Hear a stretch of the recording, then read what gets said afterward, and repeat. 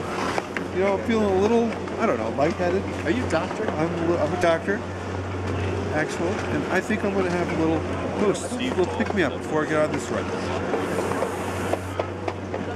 Delicious. I feel like a million bucks. Bring on the slopes.